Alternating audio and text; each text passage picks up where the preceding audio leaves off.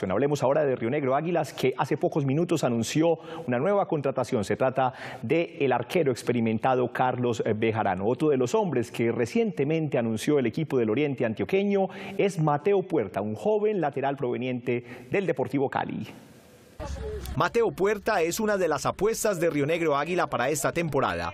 El joven lateral de 22 años llega proveniente del Deportivo Cali.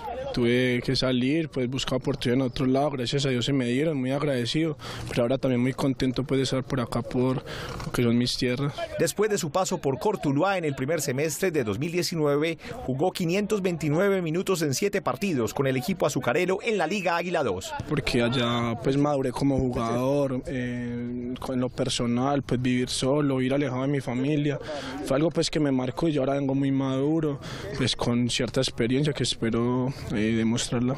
El defensor asegura que llega al equipo del Oriente Antioqueño para fortalecer la zona defensiva. Yo soy un jugador que es muy fuerte en marca, que tiene ida y vuelta y pues siempre me caracterizo por el sacrificio que tengo.